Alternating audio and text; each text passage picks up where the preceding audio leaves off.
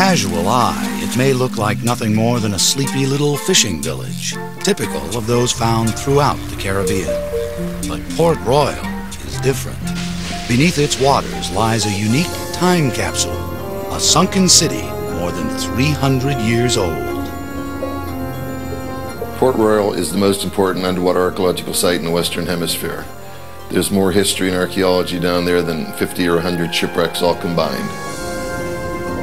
The history of Port Royal's sunken city, its legendary rise, its catastrophic fall, and promising rebirth begins in the middle of the 17th century when European nations fought over possession of land in the New World.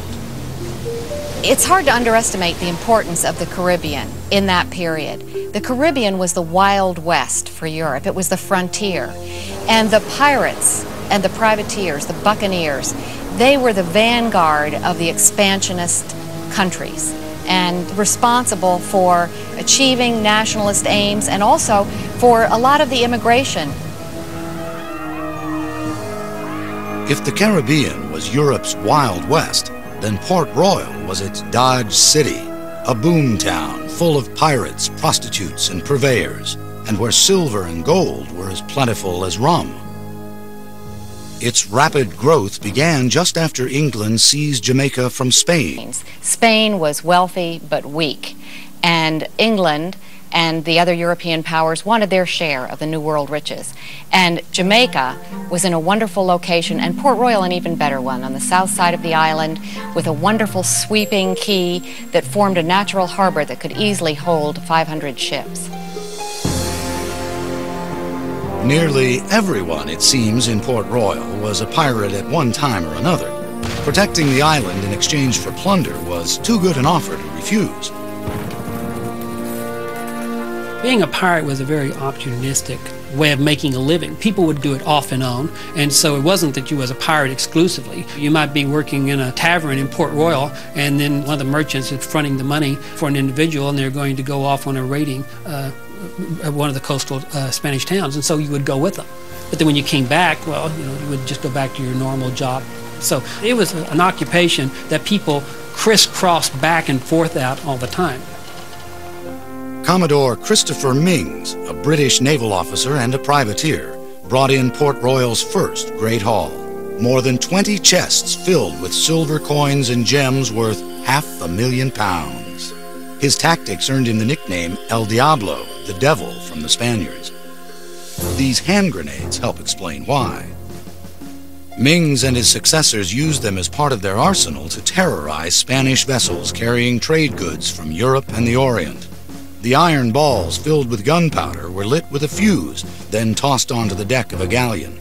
The explosion caused death and injury. Or treasury of the West Indies is always like a continual mart or fair where all sorts of choice merchandises are daily imported.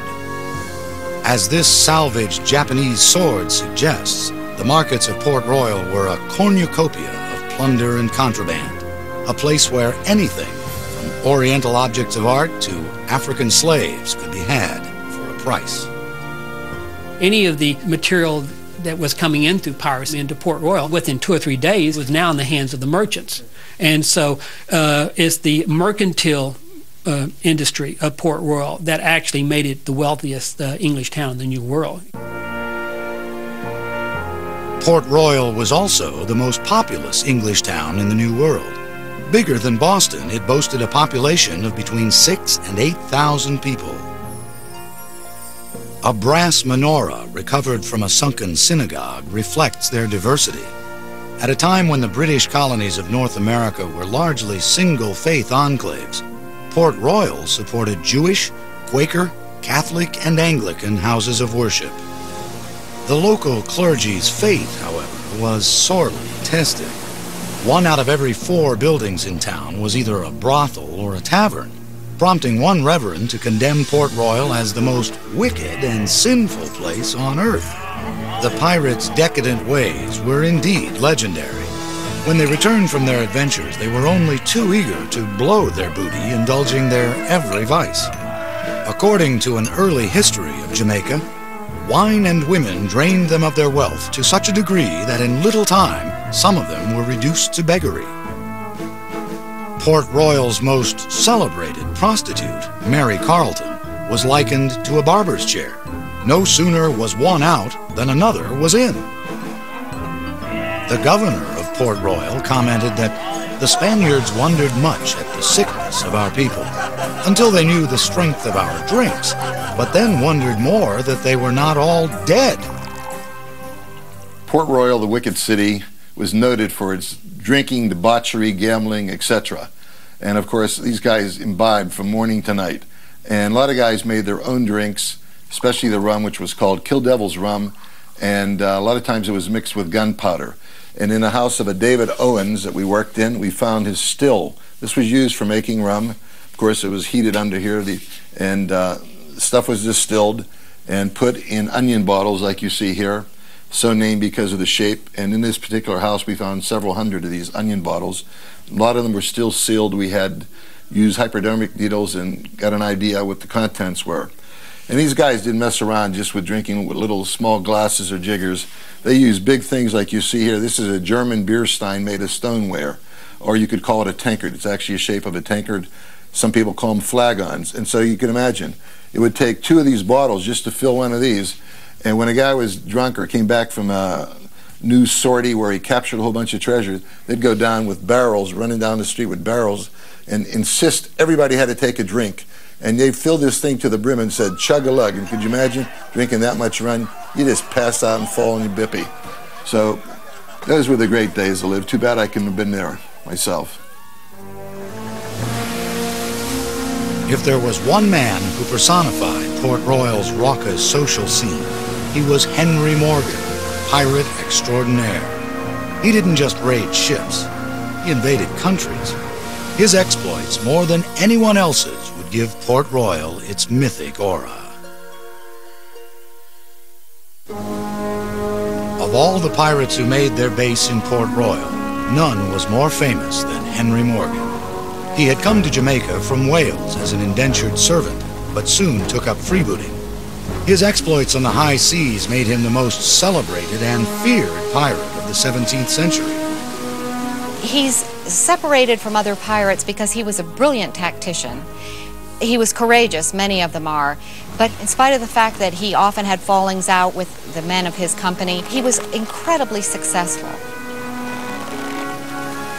Morgan's expeditions rivaled those of any nation's army of the period.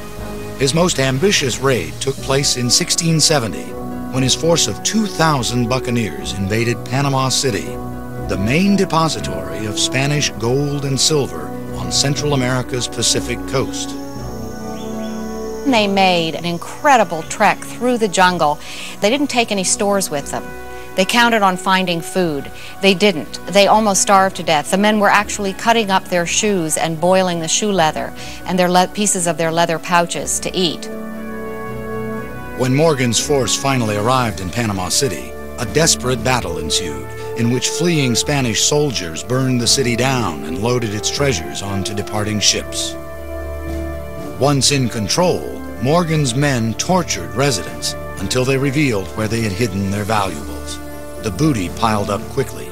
Silver plate, gold ingots, and 750,000 pieces of eight. When they got back to the Caribbean coast, again at great cost to life, men dropping of uh, disease and jungle fever, there was a falling out. After all that effort, there were only 200 pieces of eight per man. When Morgan sailed off ahead of some of the men, they felt that he had skimmed off the best for himself.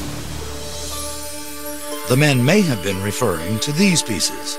Rarely put on public view, they are known as Morgan silver, believed to be the only known plunder remaining from the raid on Panama City. Upon his return to Port Royal, Morgan was hailed as a conquering hero, but King Charles was not pleased. England was now at peace with Spain. The Spanish king threatened to declare war if those who destroyed Panama City went unpunished. In response, King Charles imprisoned the colonial governor who approved Morgan's venture. But a different fate awaited the popular pirate. The British Crown really needed to get rid of the pirates at this point because they were developing their own commercial, viable uh, colonies, and, and the pirates were becoming an embarrassment. And so, what a better way to catch pirates than to set a pirate to do it? The king knighted Morgan and appointed him lieutenant governor of Jamaica. By day, he sat in judgment of his fellow buccaneers, but at night, he secretly arranged for them to continue their trade for a price. But it was Sir Henry who ultimately paid it. It must have been extremely difficult for Morgan to have been the buccaneer par excellence and then have to sit in judgment on petty pirates and buccaneers. And he sank into debauchery and drunkenness and was a kind of a shambling old mess at the end. But this is the story of piracy, and it's certainly the story of uh, Port Royal, which was brash and bright for a while and then was extinguished. Morgan died a bitter, broken alcoholic in 1688. A short poem mourned the passage of the man and his times. You was a flyer, Morgan. You was the lad to crowd when you was in your flagship. But now you're in your shroud. Morgan's era was over, but Port Royal continued to thrive into the early 1690s as a pirate haven.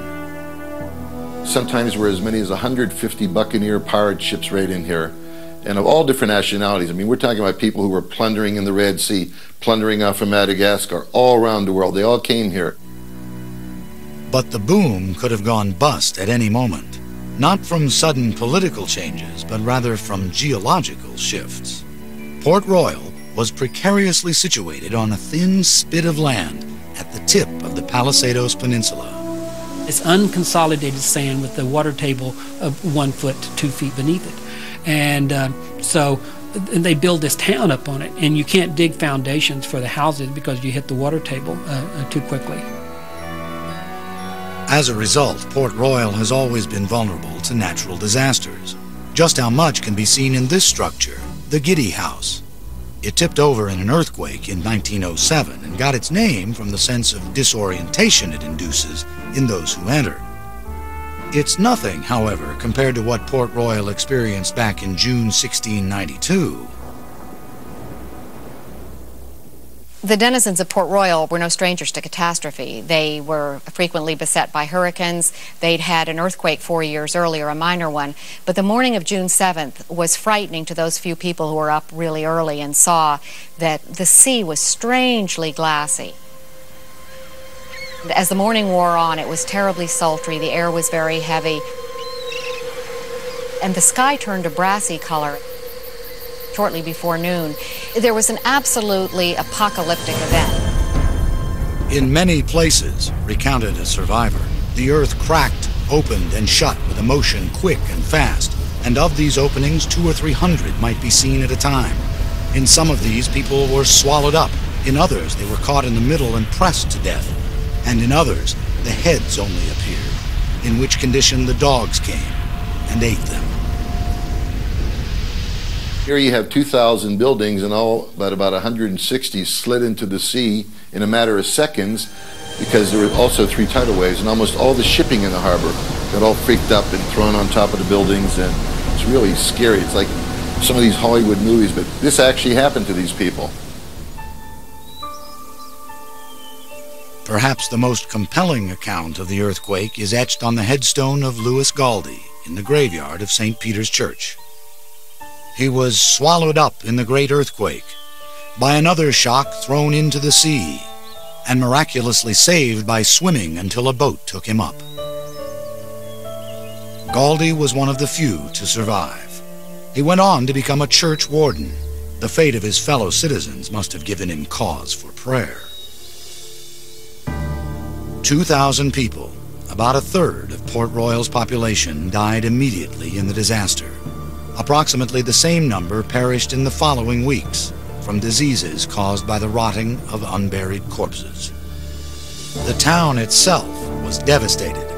33 acres, nearly two-thirds of Port Royal, collapsed into the sea. Gone was everything from five of the island's six forts to Henry Morgan's grave. Even in its decimated state, Port Royal's notorious reputation survived. Looters roamed the streets, cutting off the fingers of the dead to more easily pilfer their rings. Others dove into the water, recovering what they could from the rubble below. Clergymen preached this catastrophe of biblical proportions was God's punishment for Port Royal's wicked ways. Perhaps they were right. The town was never the same.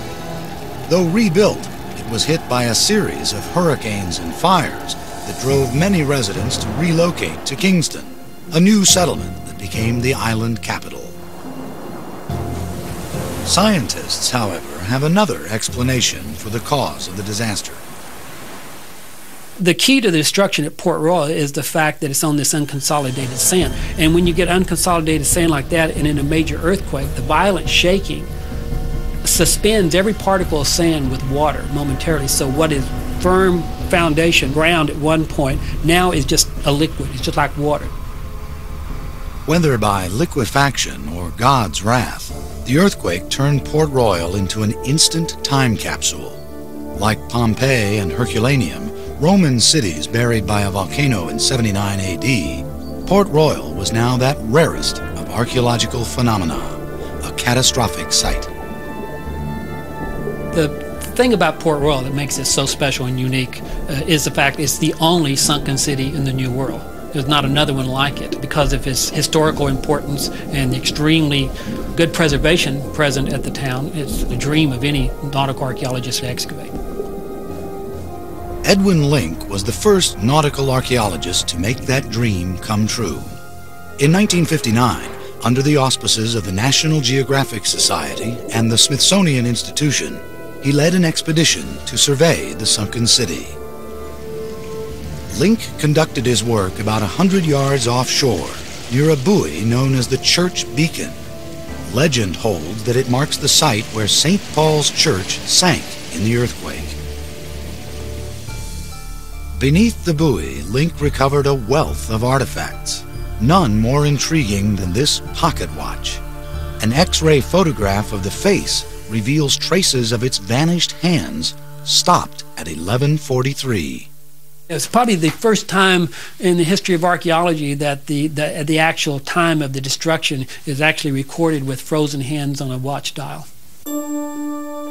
Link's expedition literally put Old Port Royal on the map and changed the minds of skeptics who believed that because of reconsolidation, a natural landfill process, there was little, if anything, left of the sunken city. Link's greatest contribution was the fact that he proved that there was a sunken city down there and that it had great merit to have somebody have a bigger project. That somebody was Bob Marx, an underwater archaeologist. He would lead his own expedition five years later and recover enough artifacts to rival the plunder of any Port Royal pirate.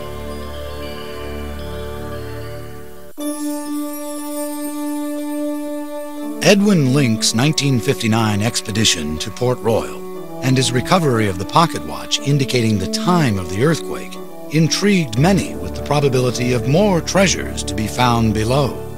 Perhaps no one was more curious than Bob Marx, an underwater archaeologist imbued with the lore of the sunken city. When I was five years old, I read a book about a guy who claimed that he walked the streets of Port Royal. The cathedral bell was chiming, Skeletons were in the taverns with flagons in their hands, drinking the booze. And I read that over and over and over, and I kept saying, one of these days I'm going to go there and do that. That day came in 1964 when a development company announced plans to turn Port Royal into a Caribbean version of colonial Williamsburg. That meant dredging for cruise ship piers right where the sunken city was located. When Marx heard that news, he took action. I was able to convince the governments, with the help of the Organization of American States and UNESCO, both organizations which I was consultant to on underwater archaeology, to save all the goodies down there. And little did I know at the time that I'd spend the next four years around the clock working and only do a tiny part of the site, like 5% of the overall site. Marx excavated that portion of the site most threatened by the proposed dredging. Working in depths as low as 25 feet, he used an airlift long vacuum-like tube to pump the silt onto a barge where small artifacts collected on a screen. Marx didn't know what he would find, but he had a dream. From the very, very beginning when I first started the excavation here at Port Royal in 1964, I dreamt about let's find Henry Morgan's grave because we knew he was buried at Port Royal, or at least his tombstone. Marx's quest wasn't easy. Sewage from Kingston severely limited underwater visibility. Sharks lurked nearby. Cave-ins and earthquakes threatened. You're working in a cesspool, but the information that you're getting, you can't get anyplace else. So we put up with it day in, day out. And every morning, you know, I'd wake up so excited to say, okay, what am I going to find today? Apparently, a lot. Marx may not have found Morgan's grave, but he and his divers seem to have salvaged everything else. They recovered thus far the largest haul of artifacts from the sunken city, in the millions by Marx's own estimate, all of which fit his definition of treasure. Treasure is anything of importance to mankind that comes out of the sea or from a land site. So treasure doesn't have to be gold and silver. It's something that's interesting for people and it's something that adds to the knowledge of the past. That's what treasure is. Some of Marx's most interesting treasures are the oldest ever found in Jamaica. Soon after I started the excavation, I realized that others had lived there before the pirates settled in Port Royal in 1655 because I began finding Arawak artifacts. Arawaks were the first settlers on the island. They were there at least 1000 AD, and they were all over the Caribbean in different islands. And some of the first artifacts we found were these religious figurines that you see here, made out of stone, probably of Indian gods. And we found several of those also in wood, in very good condition.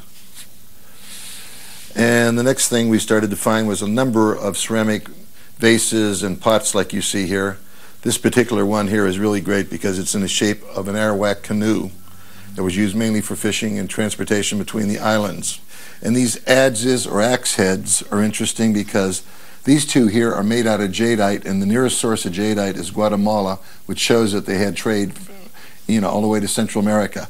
The two biggest are weapons used to fight, and the smaller one is used as kind of a axe for chopping wood or digging out a canoe or something like that. So it really was great to find all these Indian artifacts on the site. Most of Marx's finds are fittingly stored in a landmark building, Port Royal's Old Naval Hospital, built in 1819 and owned by the Jamaica National Heritage Trust. As the main repository for Marx's artifacts, the hospital has become a latter-day version of the city that sank just beyond its seawall.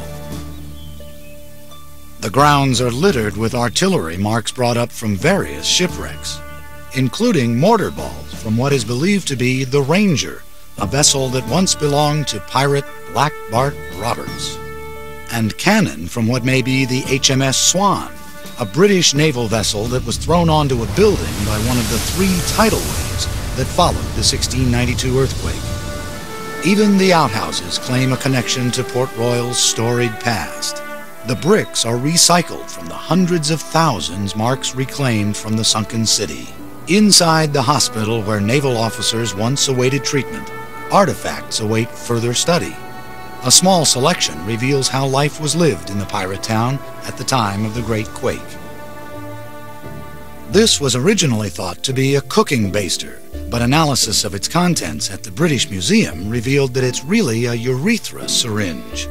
With it, a mixture of lime and molasses was injected into a man's penis to treat venereal disease. These lead pieces were used as weights in the fish and meat markets. Their markings, however, indicate an amount more than they actually weigh. Whoever patronized the salesman who used them got cheated. And a crushed pewter chamber pot permanently bears the impact of the earthquake's brutal force. But it's in the Institute of Jamaica, in Kingston, that one finds perhaps Marx's most valuable object. Every diver dreams of finding a treasure chest. And here I actually found the wooden chest, and inside were 3,000 of the most perfect silver coins because the same anaerobic conditions that protects all the organic material also protected the silver. And they were the most perfect coins I ever found. This piece of eight, plundered by pirates from a Spanish galleon, is one of the few left from Marx's excavation. It's kept in a vault because most of the other coins have since disappeared and are presumed stolen. Grim proof of their irresistible allure. It also provided the irrefutable proof the Jamaican government required to halt the planned dredging of the harbor.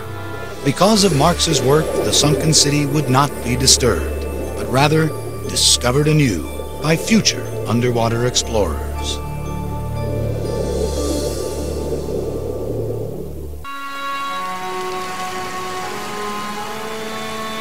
Every underwater expedition to the sunken city at Port Royal has been distinctive.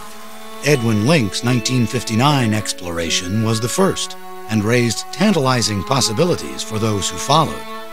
The dig conducted by Bob Marx in the 1960s was the largest, yielding the greatest quantity of artifacts. In 1981, the longest and most detailed study of Port Royal began when the Jamaican government invited the Institute of Nautical Archaeology at Texas A&M to excavate. Donny Hamilton led the expedition. Originally, I said, okay, I will go one year and see what the conditions are like. So when we went out there, we found that we could conduct controlled excavations. We could take photographs. We could take underwater video. We could find artifacts.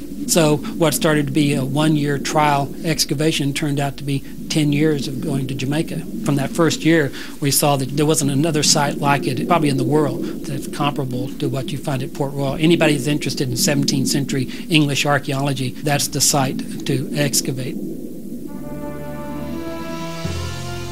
Unlike Bob Marx, whose site was predetermined by proposed harbor dredging, Hamilton could choose where he wanted to excavate. After consulting period maps of Port Royal, he selected what was once a busy intersection in the commercial center of town. This area was chosen because it's probably the only portion of the sunken city where one finds buildings that sank vertically with minimal distortion. This phenomenon was caused by the liquefaction that occurred during the earthquake. Hamilton's team uncovered eight buildings ranging from a probable tavern and cobbler shop to private residences. Using a water dredge, a more flexible version of an airlift, Hamilton's team gathered artifacts at depths of less than 15 feet. It was just the first step of many to conserve the past.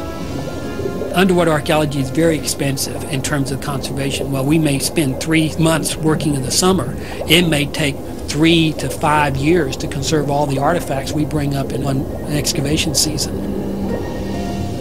Hamilton explains the steps involved in the conservation of metal objects, the kind most susceptible to decay and incrustation. The biggest problem we have with the artifacts from Port Royal is the, just the fact that they're all covered with marine growth from being 300 years in the salt water. And so the first process we have to go through is x-raying them to find out exactly what is inside each one of these incrustations or concretions. We take each encrusted object and uh, make an x-ray of it before we start the conservation process and then the x-ray shows the interior detail. On this x-ray you can see the trigger of a gun, Here's the side plate of the gun, the uh, spring inside behind the side plate, and then part of the hammer uh, which held the gun flint. And the x-ray shows us clearly the, uh, the degree of preservation and it determines the next process as we go through. As soon as we evalu evaluate the x-ray and determine what's inside, then we just start mechanically cleaning the incrustation off the uh, object.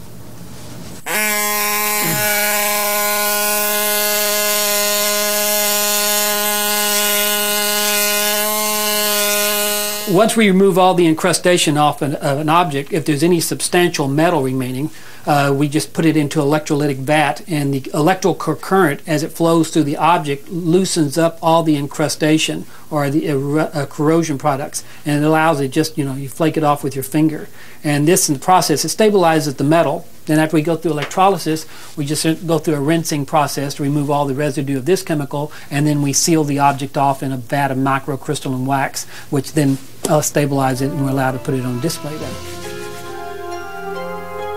This cross-section of artifacts collected by Hamilton and his underwater archaeologists illustrates the vibrant and varied life that flourished in Port Royal during the latter half of the 17th century. Onion-shaped liquor bottles and a clay pipe recall the laissez-faire attitude of the social scene. A cannonball and shot gauge confirm the strategic importance of the harbor. A porcelain Chinese foo dog offers exotic evidence of Port Royal's status as an international trading post. And a gold wedding ring, buckles, and a pearl earring hint at Port Royal's wealth. Ironically, they do not fit Hamilton's definition of treasure. I'm an archaeologist, so I define treasure in terms of data. Data is a treasure uh, because data is interpretable. You can do something with it. Gold to me is immaterial, but does it have marks on it that I can identify to a maker or to a time period? It directs our research, tells us where to go to find the historic documents or the records that fill in the gaps. And so that's what's a treasure to me. To Hamilton, these seemingly ordinary pewter plates are treasure because they bear the mark of its maker, a pineapple with the initials SB. Searching for who SB was turns an archaeologist into a detective and demonstrates the invaluable role documents play in reconstructing the past. After consulting several archives, including a 1680 Port Royal census, Hamilton discovered that SB was Simon Benning, a local pewter maker. Further research located his will, providing information on his family and property holdings, while his inventory quantified his success as a pewter maker. We know from Simon Benning's inventory that he had over 2,000 finished plates, in, which is a very large inventory. Essentially, he's the only pewter maker in the entire island. With only a set of initials as his starting point, Hamilton's research ended with a profile of Simon Benning, Port Royal's pewter maker. He was likely born in Tuthill, England, came to Port Royal via Barbados around 1663, bought property on High Street, had a wife, two sons, and a daughter, prospered in his trade, and died in 1687, five years before the Great Quake. I like Simon Benning because essentially I brought him back to life through the excavation and the research that we conducted uh, with the artifacts that we could re relate back to him. Bringing back to life the citizens of Port Royal doesn't always require an artifact with a mark on it or documentation. Sometimes the past becomes more human simply by an act of compassion. While excavating the last structure on their site, Hamilton and his team found the remains of three children caught in the quake. It was enough to stir the heart of even the most professionally detached archaeologist. One child was at the back hearth and the wall fell over, and so the child was between the wall and the floor. And then we found another child at the front door at the house. Either the child was either running into the house or running out of the house, but it was right at the front door. So in a situation like that, you know, there is an, an emotional involvement. Hamilton had the children's remains buried in the graveyard of St. Peter's Church. Their modest tablet may not lure any treasure seekers, but it's valuable in its own right. It's the only memorial to the victims of the earthquake of 1692.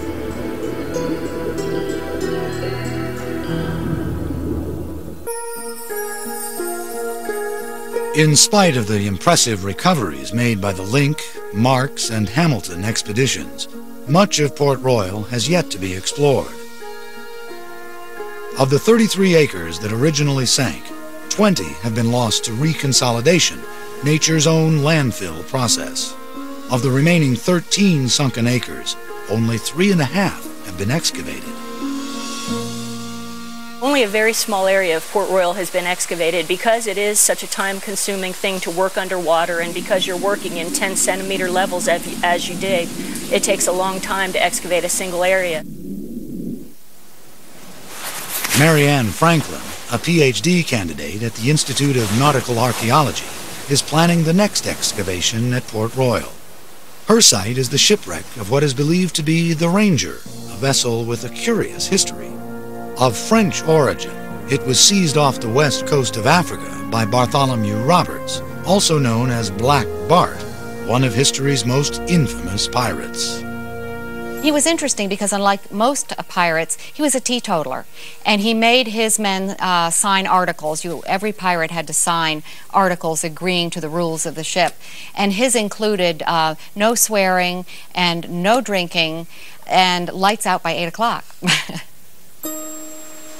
On the high seas, however, Black Bart was a terror, raiding and plundering at will during the early 18th century. The British Navy finally brought him down after a long pursuit and a short battle off the Guinea coast.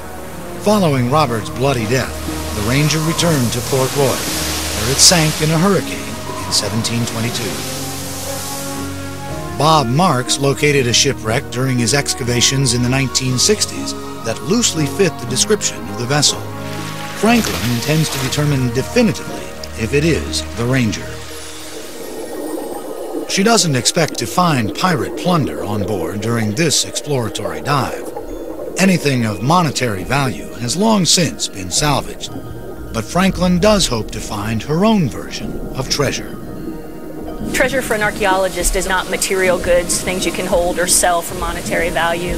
What's neat is that you can go down, look at the archaeological record, put it with the historical record, and get a better understanding of a different time in the past that make sure that the information you find gets to the public so that kids can understand because if you just keep what you find to yourself, you're no better than the pirates.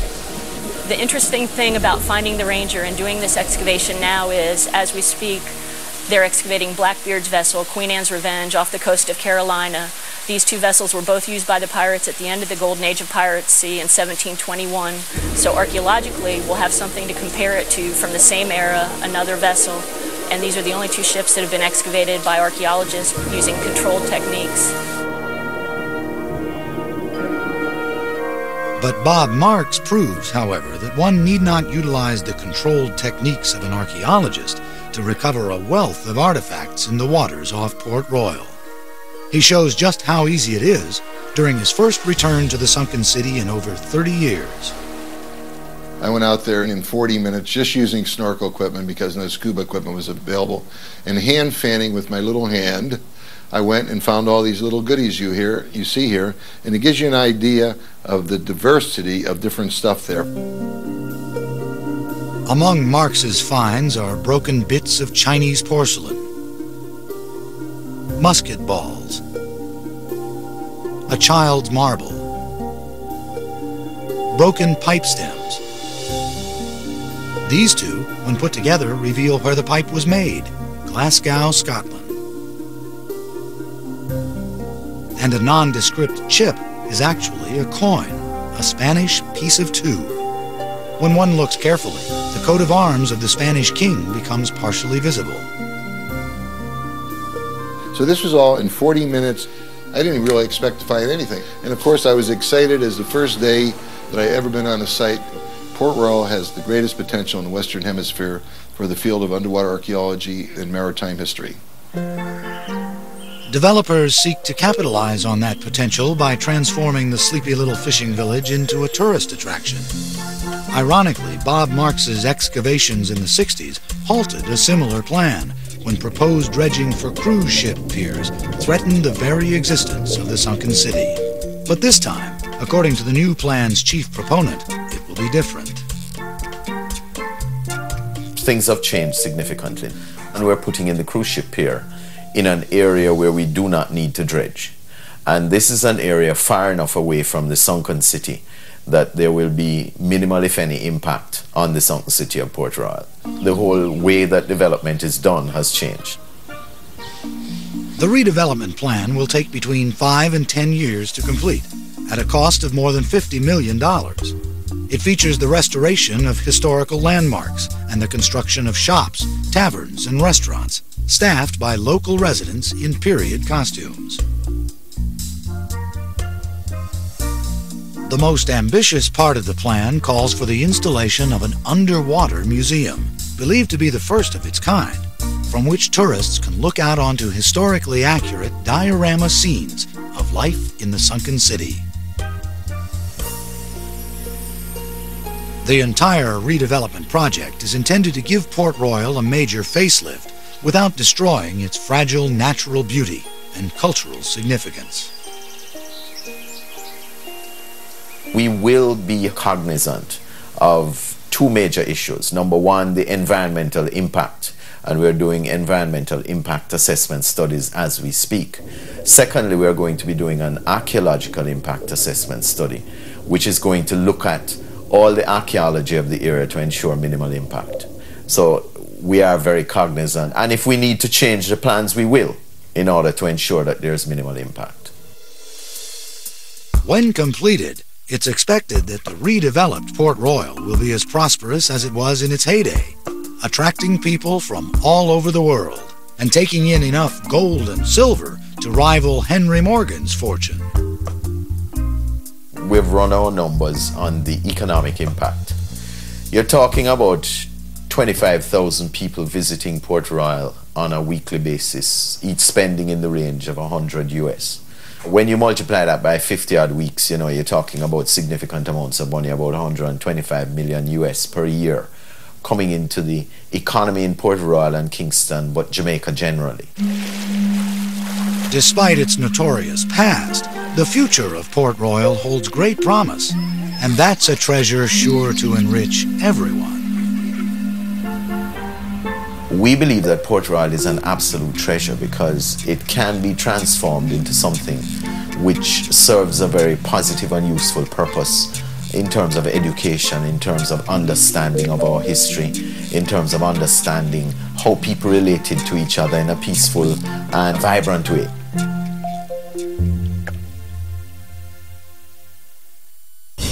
They possessed no cranes, power tools, or computers and yet they were able to engineer the most impressive architectural achievements to ever see the light of day. Join Peter Weller, Egypt, Engineering an Empire, Thursday at 9 on 8.